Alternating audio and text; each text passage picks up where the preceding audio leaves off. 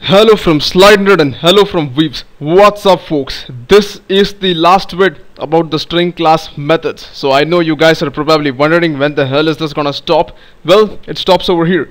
So I'm gonna talk about some more methods which are the most important ones starting with something called index of. If I say s dot index of, if I say h over here, this is gonna give me the position of h inside our string s. Now you guys are probably wondering what happens when there is more than one h. It will only return the first h. So you can this gives you an uh, index. For example, in our case, if you see h is at zero, so this is gonna give you an integer which I'm gonna store in int position. All right. So I'm gonna print this position by saying system dot out dot println position. If I just run this by saying Control S Shift F6, as you guys can see, it says zero. You can also pass something like uh, O as you guys can see there are many O's over here. There is one there is two right? So if I say s dot index of O this is gonna give me the first O which is at the fourth position. That is 0 1 2 3 and 4 right? This is the fourth position. So that is perfectly working. But you can also put a string inside over here by for example you can put the entire hello over here and check where hello is. Now if you guys notice hello is actually at the zeroth position right?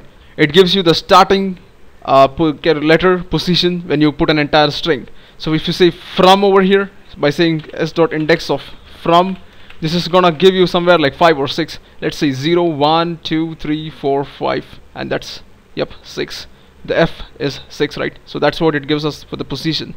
Now let me actually show you what we can do. Now let's say we wanted position O over here and it gave me 4 but I want the position for this O not the first O. So what I can actually do is I can skip these many characters and then I can start counting from here alright for that what I do is I tell the number of characters to skip. For example in this case I'm gonna say skip say 6 characters by passing this parameter 6 over here. So now if you see this is gonna give me 8 8 is the position of this O from the start of the string. But by saying this 6 what we are telling is do not count O if they appear in the first six places. Only after that count O if it appears. And that is what this 6 actually tells us. Alright. The same way you can have uh, last index of by saying s dot last index of let's say E. Now this is gonna start counting things from here. Remember things will be 0 1 2 the count will be the same. It's gonna start from 0 and it's gonna go up to 29 but this E is at probably 27th position and that is what this last index of will give us. So let me go ahead and run this. As you guys can see 26th position that's where this E is. Now the same way like the first index you can also skip this E and suppose you want this E over here. So what I'm gonna do is I'm gonna skip all these characters by putting 20 over here. I'm gonna skip 20 characters from the last and start counting E if it comes over here. So now this is gonna give me 1 that's where your E is right? This is 0 this is 1 and we start counting from here and this is the E that we get. And this is what your last index of function does. I can also replace stuff by saying s dot replace. I can uh, take my old character and say for example I want to replace all the E with I this is gonna give me a new string because you remember remember one thing? Your string class cannot be modified so I'm gonna say string s2 and this s2 is gonna be printed over here. So wherever there is e inside your string that's gonna be i in our case right? So that's what your replace function does. And then we have this function called split which gives us a string array.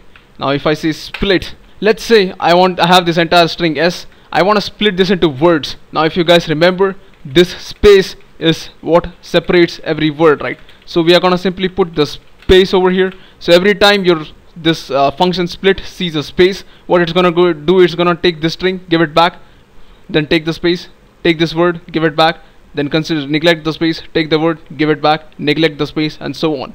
So this is gonna give you a string array by saying string x equals to this remember if you don't if you have I haven't talked about arrays so far in my list so stay tuned. When I talk about arrays you will understand this in detail. For now I'll say for put a for loop over here by saying for int i is 0 i less than x dot length i plus plus. I could have used used a for each loop too but I'm not doing that. System dot out dot println x of i. Now just like I told you it's gonna see start from here. It's gonna see the first space. Since you passed space as a parameter over here it's gonna take the first space split this entire word put it inside one position inside the array then take the next word neglect the space take the next word and neglect the space and so on. But what happens if you put a comma over here? Well it won't split because there is no comma anywhere inside your string. So now let's actually try something by putting commas so that you guys can understand what happens better. So in this case if you guys notice there are two commas and that's how we are to get three strings right? There's to be first hello then there's to be from and then it's to be Vivz and slide notes. So this comma is used as the basis for separating words inside our original string just like space was used in the last case. This is what the split function does.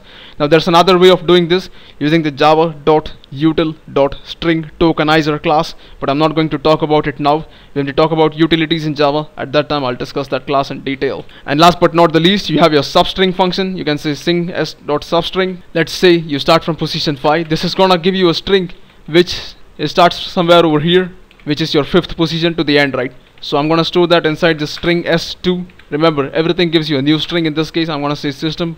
So as you guys can see it says 0 1 2 3 4 and from the fifth position it has started. That is from here till the end. And that is what your 5 indicates. Start from that point including that point right? It's included. Take a look. So here you can also specify an end by saying say 10 in that case you get only this from over here right? In that case your this character which is say this is uh, let me let me count. I'm bad at maths 0 1 2 3 4 we started from 5 then there was 6 7 8 9 10 now the 10th position was not included right? So the last position that is your number 10 will be excluded in the output over here. You will get only this much. You can vary this at different values and see what comes out. You can again play with this so I hope you guys understood something out of this vid. We are done with all the string methods, at least the basic ones.